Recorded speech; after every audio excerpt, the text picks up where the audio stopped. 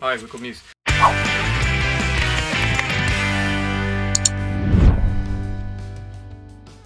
old are Muse? Nearly 25 years old Oh, as a band. Round down. 24. Round down. Yeah, it's 24 years old.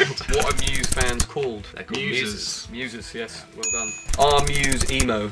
Emotional. Uh, Emotional, yeah, emotional beefcakes. I'm a little bit emotional. I get emotional Tonight, sometimes. today. Yeah, I've been emotional. Drunk too much, that's why. Uh, I don't think we. I think that. I think that genre is an American genre that came like after we, after like a few, quite a few years after we started. So, are Muse touring? Uh, we are next year. Next uh, summer in Europe and spring in America. I love that this next one's a popular question. What's Chris Wolstenholme's rig rundown? wow. that that'd take a while. The rig run down. you still got a couple of speakers, haven't you? Oh, I've got a Markbass, Mark bass amp, two Kempers. That's it. And what about uh, what about effects? Big muff. It's always a big muff. Animato. Just, I just I just press the buttons. I don't know. I forget what the pedals are You got a whole massive rack full of stuff. I haven't touched I haven't touched it for years. Why are Muse called Muse? Because our last name sucked.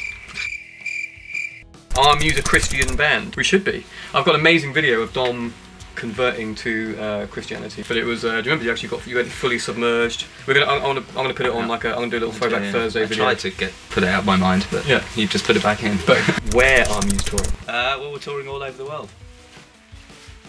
In a. Ooh. Ooh, look at you. Ooh, you're a world traveller. Um, Well, okay, well, it's America, then it's Europe, then it's Asia. okay, how do you play Hysteria by Muse?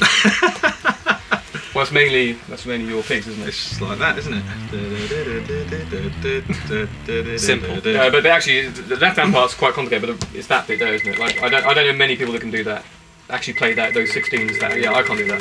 I can play it with a pick, but I can't do. What is Matt Bellamy's vocal range? I don't know. I see people referring to A4s, whatever that means. Um, I guess it's like a high A note or something. But I can go higher than that in falsetto. But I don't know what the technical range is.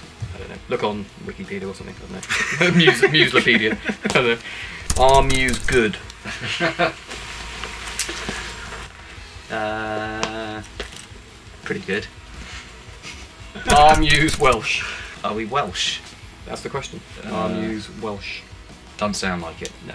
We are from the West Country though, and I do farm sheep. How long are Muse concerts? About an hour and 45 minutes.